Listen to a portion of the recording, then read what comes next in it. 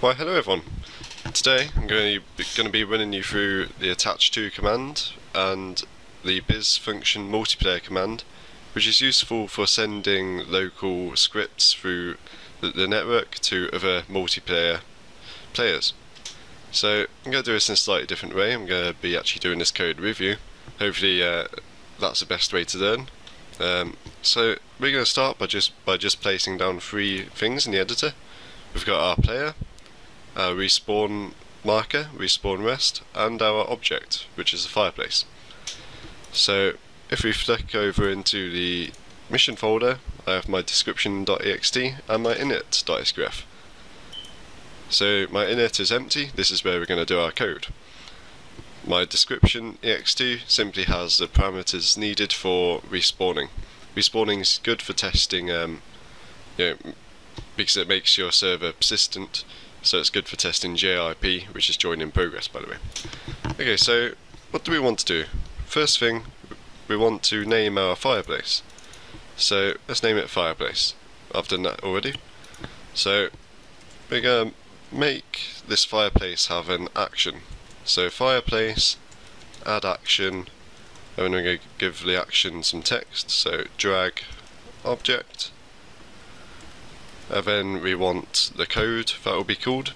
In this case I'm just going to call a function which we're going to make in a minute. I'm going to call this function drag object, hate drag object, and that's all we're going to have in the fireplace for now.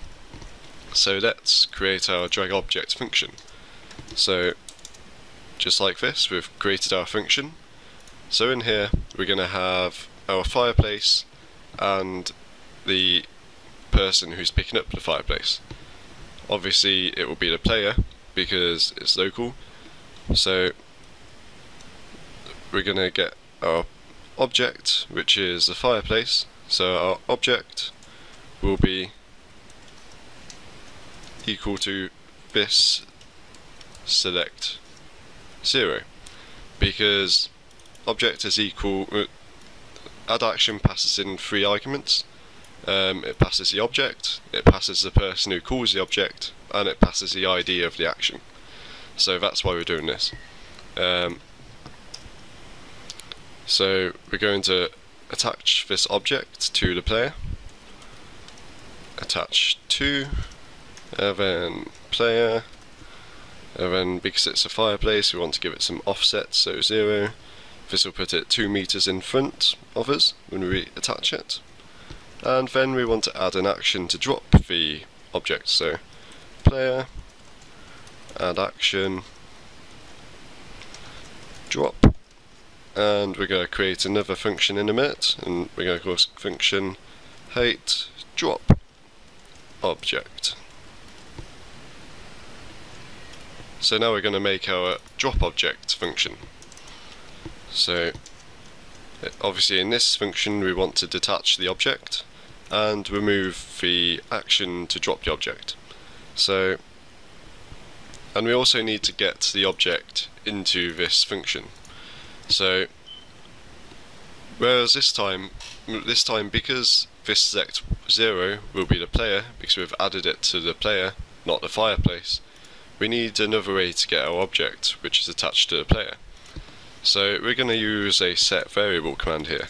So if we set the variable into the player, it'll be local to the player. So we're going to give the object a name which is called object, and we then we pass into we pass into the object. And you see how this comes in useful. So when the player calls this action to drop the object, we're going to get the object from his uh, variable. So the object equals player get variable object. So now we've got the object that we've set in here. So this is still the same object that was attached to the player. So when object detach, we want to detach the object. So now we've detached the object, but the player still has an action saying drop. So what we're going to do to remove this is we're going to get the ID of the action which is by default we get the ID as a second argument. So like I said before, the add action passes in three arguments: the the thing it's attached to, the user of the object, and the ID of the add, add action. So we've got the add action ID. So now we're going to remove the action from the player with the remove action command. Okay, so this is our basic setup. We're going to test it in the editor, make sure it works, and this is pretty much how you would do it. Um, so we're going to look for problems. If there are any problems, there will be some. So there we go, there's our action to drag the object. Okay, so you can see it's a bit below the ground there for some reason. That's very weird. So now we will drop the object. Okay, so that seems to be working okay. So we're just going to edit this a bit so it doesn't go into the ground. So we'll make this 0.3, so it's 0.3 meters above the ground. And we'll try it again.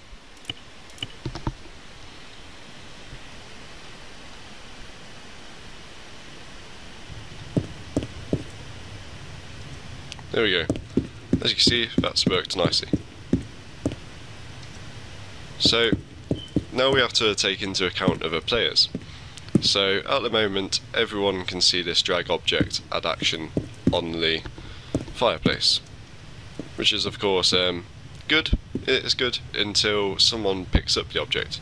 So I'm dragging the object, what if another player comes along and tries to drag the object too? So, to get around this, we need to make it so the drag object add action disappears when someone's dragging the object. So to do this we're going to use the drag obje object conditions. So if we have a look on the website for add action we can see our all the arguments you can pass into the add action. So we've got the unit, we've got the, the text, we've got the script, the arguments, we'll just replace that with nil. So nil, the priority, 6, we want it low priority. We want it not to show um, in the middle of the screen when you approach. We don't want it to disappear when we add the action. And so hide on use show window, we've just done them both as false. Shortcut, we don't need one. So we'll just put an empty string. And now we're into our conditions. So in here we can place our conditions that will make this object show the action. So we got fireplace set variable. We're going to call this variable dragged. And at the moment dragged will be false because obviously it's not been dragged yet because we've just added the action. So in our conditions we use target this is the referring to fireplace, so whatever has the object, uh, I mean add action attached to it will be referred to as a target within this conditions. So conditions get variable, dragged. Now, that's a double speech mark that, because it's in a string, so while it's false, so while this equals false, this is just another term for false if you don't know that, then this add action will show. So now we need to make this work by when the object is being dragged, we're going to set its variable to true, so the add action will disappear, and then when we drop it again, we'll set the variable to false again, so it's available for the people to move. So let's quickly try this. Hopefully this will work. So all we're doing right now is setting up the script so it works. It, once we've done this we can move on to making it work with other people in a multiplayer environment. Okay, so that, that works. That's exactly how we want it. So now we're going to make this multiplayer compatible and more flexible in a way. So in the init.sqf we want to call this only with the server because we don't want multiple add actions. So when the server runs the init once it will do this. So we'll set the object as fireplace. And then we're going to use our biz function multiplayer command. So that's this one here so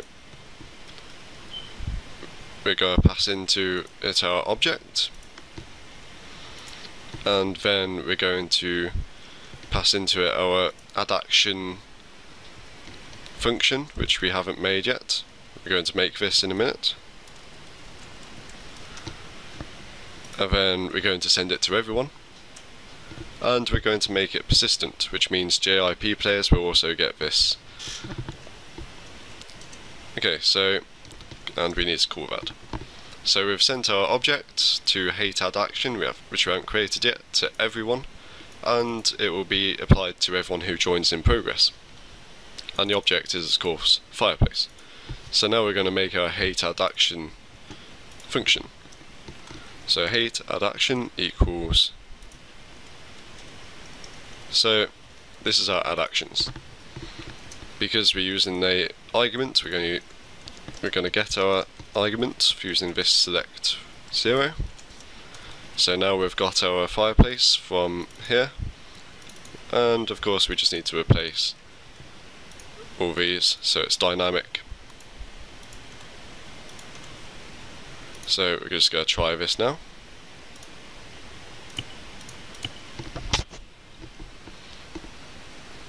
So now when we boot up, the server will add the action to the drag object and it will make it local to everyone. That's what the biz function multiplayer object does. So now I'm going to switch over to the dedicated server and show you uh, show you this in a dedicated environment. Okay, so I've PBO'd my mission and I've added it to my multiplayer folder and I'm inside my dedicated server now. So what I'm going to do is continue and we're going to test this with JIP and dedicated of course. So we're loading in, right now the server's running through its init and it will be sending this add action to all the players and making it so JIP players also get the add action to drag the object. So we're in, let's have a look. Yes, we've got the object. And it's all working as it did in the editor, which means we've got the locality and all the other bits and pieces that come with multiplayer scripting correct. So I'm going to exit out. Exit out, all the way back, so Bang Bob's test server, we're going to rejoin, and okay, so this is persistent, which means it's where we left it, or at least it should be, so this is testing JIP, and the JIP player has also got the object. So that's it, JIP is working, dedicated server is working. And uh, if we die then the add action will still be there because it's added to the object not the player so we don't need to manually add it, add it again. So thank you for watching. If you've got any more suggestions for videos please put comment them below. Uh, and I will see you next time